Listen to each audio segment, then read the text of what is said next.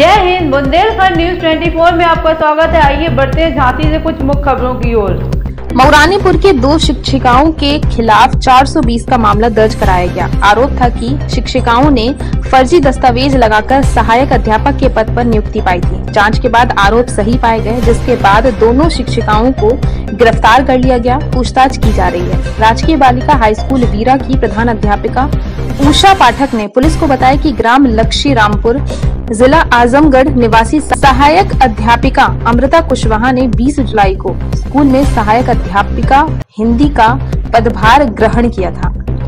वहीं राजकीय बालिका हाई स्कूल बमोरी सुहागी की प्रधान अध्यापिका पूनम बौद्ध ने तहरीर में बताया कि मगना पार बलियागंज जनपद आजमगढ़ निवासी मैनावती ने भी 20 जुलाई को स्कूल में सहायक अध्यापक के पद पर नियुक्ति ली थी। जाँच में पता चला कि दोनों शिक्षिकाओं ने उत्तर प्रदेश माध्यमिक शिक्षा निर्देशालय का फर्जी नियुक्ति पत्र देकर नौकरी पाई थी, जिसके बाद प्रधान अध्यापकों ने आरोपियों के खिलाफ मुकदमा दर्ज कराया। पुलिस ने दोनों शिक्षिकाओं से पूछताछ कर मामले की तह तक जाने की कोशिश कर रही है। इसके पीछे किसी बड़े गिरोह के भी होने की आशंका है। झांसी से दीपक चंदेल के साथ ऋषभ यादव की रिपोर्ट।